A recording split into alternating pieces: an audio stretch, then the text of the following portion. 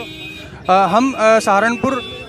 हम उत्तर प्रदेश और हरियाणा के बॉर्डर पे हैं और यहाँ पर पूरा फोर्स तैनात कर दिया गया है राहुल गांधी थोड़ी देर में यहाँ आने वाले हैं इमरान मसूद से बात करेंगे इमरान मसूद जी जैसे फोर्स लगाया गया है जो तैयारियाँ हैं उससे साफ नज़र आ रहा है कि राहुल गांधी जी को सहारनपुर में नहीं आने दिया जाएगा तब आपका क्या स्टैंड रहेगा नहीं आने दीजिए राहुल जी को फिर निर्णय लेते हैं लेकिन हमारा तो कोशिश यही होगी कि किसी भी तरह का माहौल ख़राब ना हो सौहार्दपूर्ण माहौल रहना चाहिए अभी तक आपकी प्रशासन से बात हुई आपने कहा कि सब्बीरपुर वाली बात भी खत्म हो गई थी और सिर्फ आपने ये कहा था कि अस्पताल तक जाने दीजिए क्या उस पर क्या कहता है सहारनपुर नहीं प्रशासन क्यों छुपाना चाहता है राहुल गांधी से मुझे समझ नहीं आता कि प्रशासन क्यों छुपाना चाहता है